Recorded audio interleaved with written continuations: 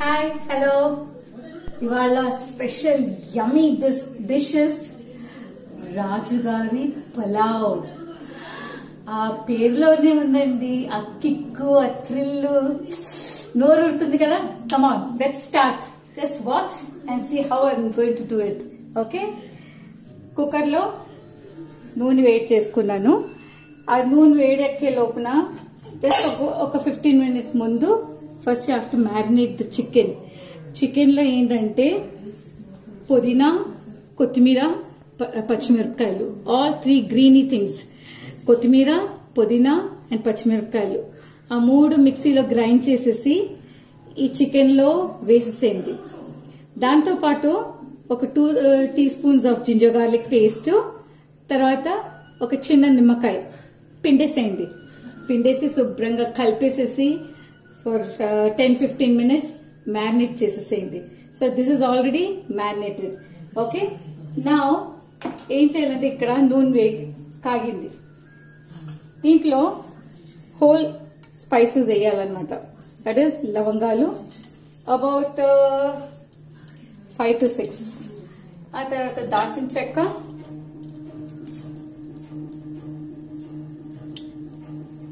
Yes ఈ రాజుగారి పులావ్కి కొంచెం స్పైసెస్ ఎక్కువగా ఉంటది. బాబు మా ఎక్కువ వద్దులే కొంచెం తగ్గించే చేయి. తగ్గించడానికి లేదండి ప్లీజ్ ఏముంది తినేసి ఒక జలసలో లేకపోతే ఏదైనా మా మరిది గారికి ఫోన్ చేస్తే ఆయన చెప్తారు. ఓకే ఒక అనాస పువ్వు. దట్ ఈస్ లైక్ దిస్ అది తర్వాత ఒక మరాఠీ మొగ్గ. లైక్ దిస్ ఓకే అండ్ కొంచెం అంటే కొన్ని మిరియాలు కూడా కొంచెం ఘాటు ఉండాలి కదా. ఇప్పుడు కరోనా వైరస్కి ఇది antidote yeah that's right very good Prasad garu. So మీరు కొంచెం కొంచెం నేర్చుకుంటున్నారు. గుడ్ గుడ్ సో ఇది ఇలాగా కొంచెం బీ కేర్ఫుల్ ఇలాచి అయితే పేలుతూ ఉంటాయి. ఇది కొంచెం వేడెక్కిన తర్వాత నెక్స్ట్ ఆనియన్స్ అన్నమాట. నేను చాలా కోసాను. యాక్చువల్లీ ఏంటంటే onion and green chillies also ఏం చేయాలంటే హాఫ్ చేస్తాను దీంట్లోకి. మిగతా హాఫ్ ఫ్రై చేసి లాస్ట్లో గార్నిషింగ్ చేస్తే చాలా బాగుంటుంది. దోస్ ఆనియన్స్ చుట్టి ఫ్రై ఫ్రైడ్ క్రిస్పీలీ అనమాట అది. సో నా ఇక్కడ ఏంటంటే ఆనియన్స్ ఫ్రై అవ్వాలి కొంచెం. ఫ్రై అవుతుండగా మీరు ఇంకొక పని చేయొచ్చు. బాస్మతి రైస్ శుభ్రంగా కడిగేసేసి కొంచెం నానబెట్టండి. నానబెడితే ఈ లోపల ఈ ఉల్లిపాయలు కూడా వేగుతున్నాయి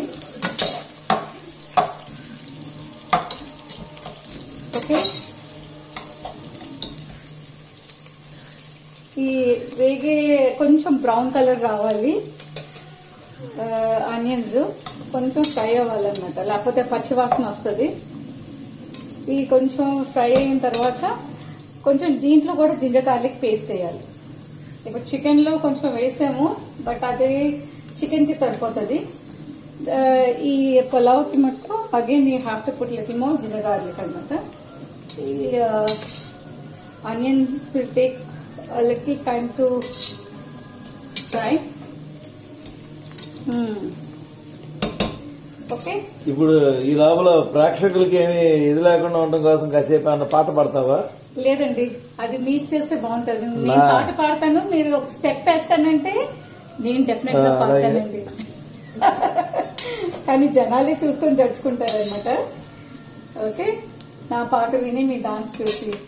ఎనివే అలాగే కీప్ స్మైలింగ్ ఈ కరోనా లేదు ఏమీ లేదండి. Every minute we have to learn to enjoy life ఇగో ఇలాగ రకరకాల వండుకోవటం రకరకాల గేమ్స్ ఆడటం.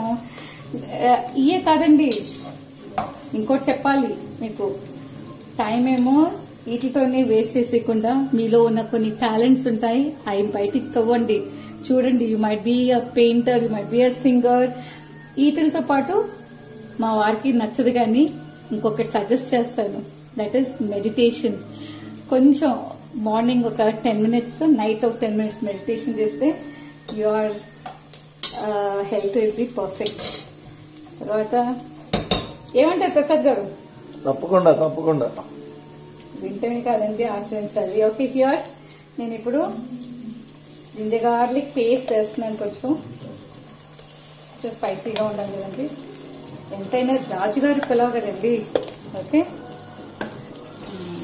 నా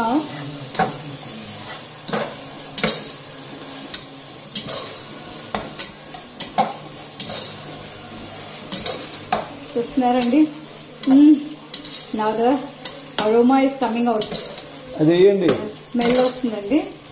చిమ్నీ ఆన్ చేయండి. చిమ్నీ ఆన్ చేస్తే మరి వాసన కొంచెం దాంట్లోకి వెళ్ళిపోతుంది. వెళ్తే వెళ్తుంది.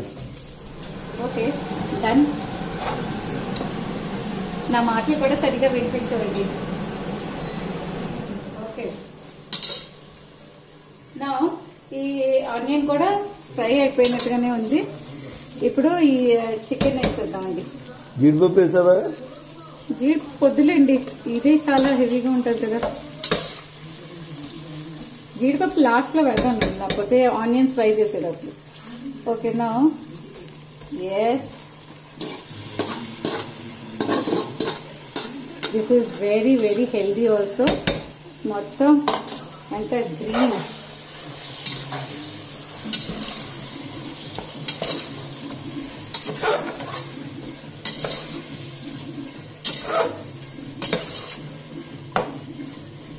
అదేండి.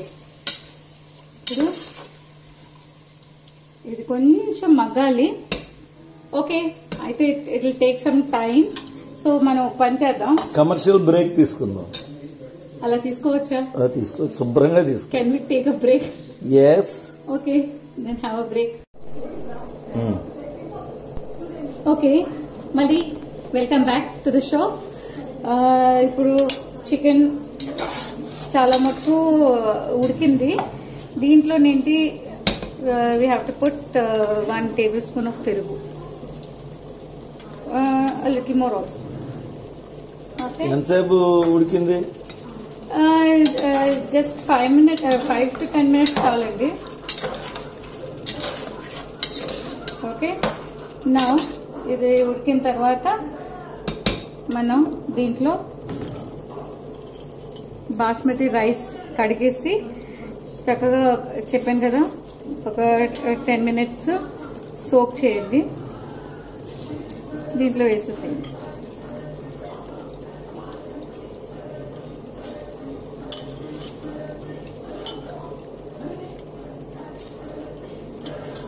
రైస్ ఎక్కువ ఇప్పట్ల? త్రీ కప్స్ చేసాను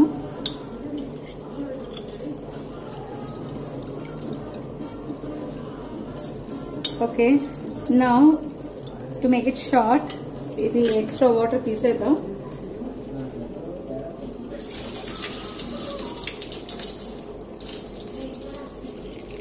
యాక్చువల్గా ఈ వాటర్ కూడా డ్రైన్ చేసేసి ఉంచితే ఇంకా బాగుంటుంది. అంటే to stay for one more day also I think well I about it ఇప్పుడు ఇలా కలిపేసేసి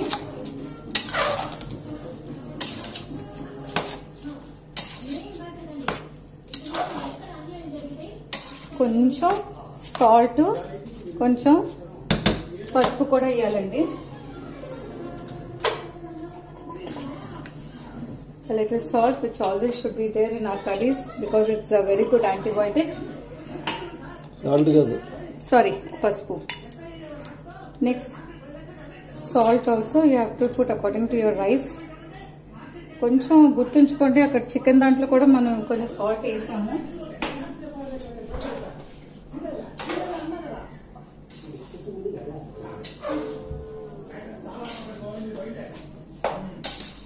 ఓకే త్రీ కప్స్ రైస్కి సిక్స్ కప్స్ ఆఫ్ వాటర్ కానీ సిక్స్ కప్స్ ఆఫ్ వాటర్ పడుతుంది అనుకోను. ఎందుకంటే from chicken also lot of water will come out కదా.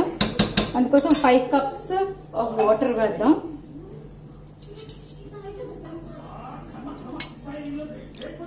One two